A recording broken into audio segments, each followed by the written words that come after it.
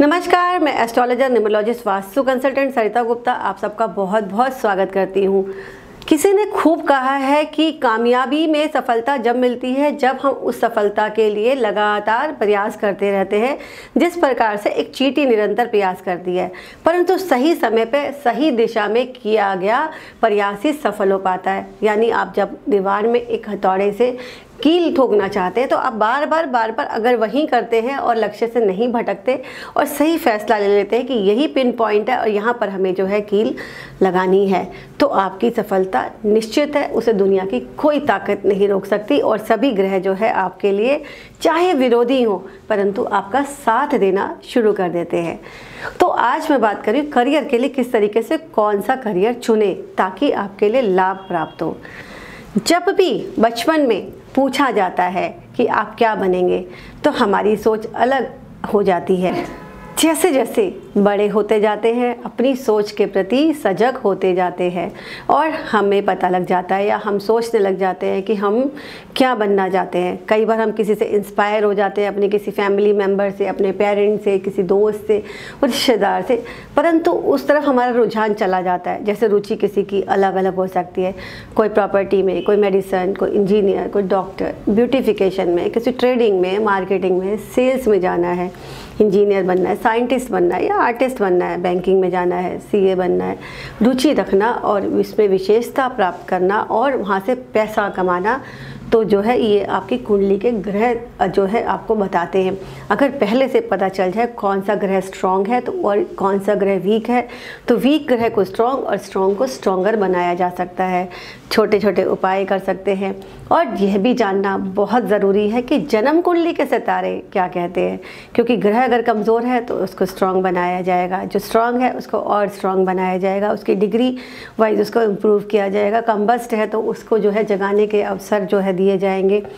Tenth class के बाद ही जब सब्जेक्ट चुनने की बारी आती है तो उसमें से कुछ बच्चे पहले से ही अगर जन्म कुंडली दिखा लें तो ये पता लग सकता है कि उसकी लाइफ की रुचि के अनुसार उसका मिलान हो रहा है या नहीं, ताकि आगे चलकर निराशा हाथ ना लगे, यानी परेशानी का सामना ना करना पड़े।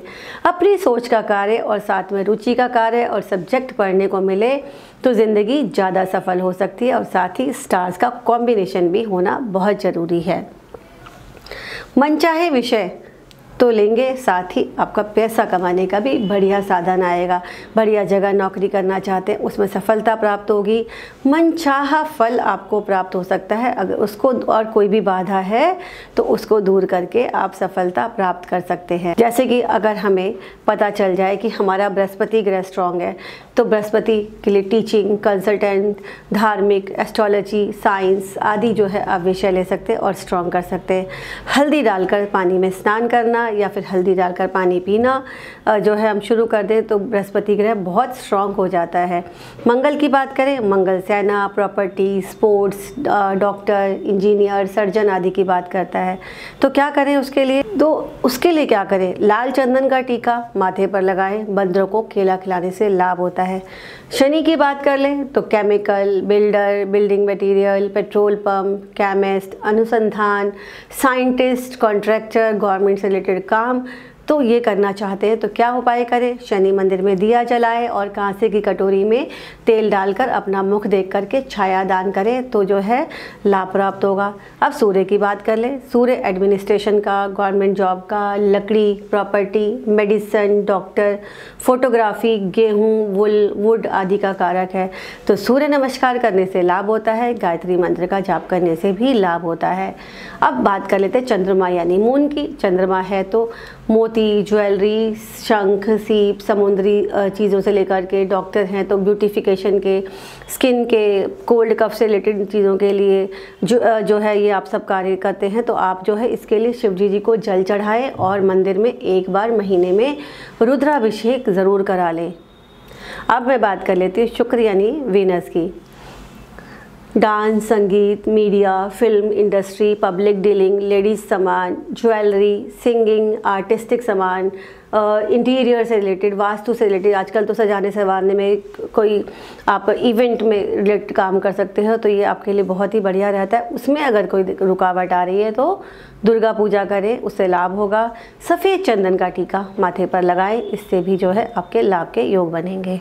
आप अपने ग्रहों के बारे में जानकर अपने कार्यों में सफल हो सकते हैं, अपने करियर की ऊंचाइयाँ छू सकते हैं। साथ ही कीमती समय भी बचाएँगे, भटकने से भी मन बचेगा और अच्छा पैसा भी कमा पाएँगे।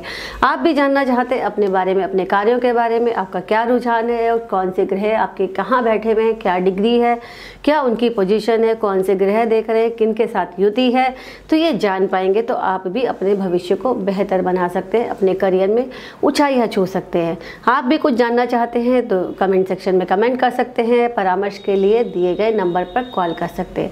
फिर मिलूँगी नए सब्जेक्ट के साथ, तब तक के लिए विदा लेती हूँ, धन्यवाद।